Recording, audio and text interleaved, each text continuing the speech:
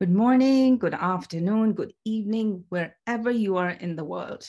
If you're wondering whether CrEST course is for you, I'm about to share my experience with you. I first came across David Heathfield two and a half years ago when I was looking for resources on developing a workshop to support service providers who were working with families.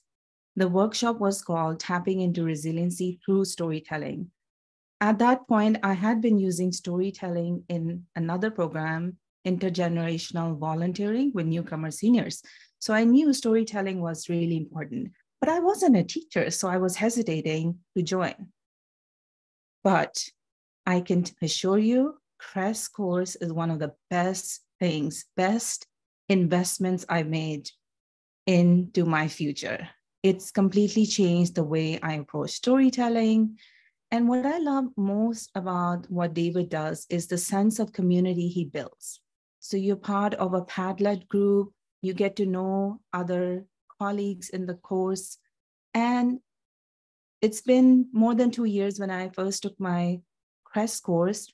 I've, I'm friends with some of those same people. Some of them are in Greece, some are Italian, some are from Palestine. All over the world, you get to know people uh, this one person in New York, we were just collaborating on a story that is so interesting. The stories from India and, you know, imagine like people all over the globe are collaborating to take these stories elsewhere.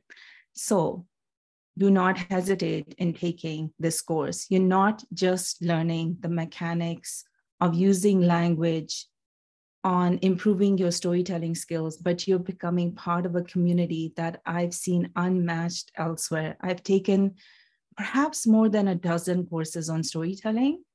And what David does for his students is unmatched.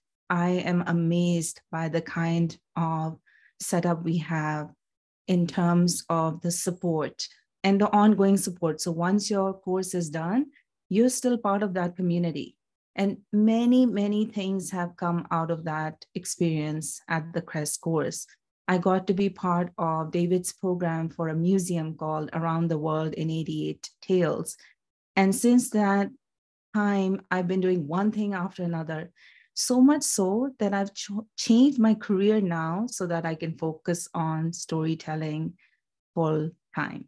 Thank you.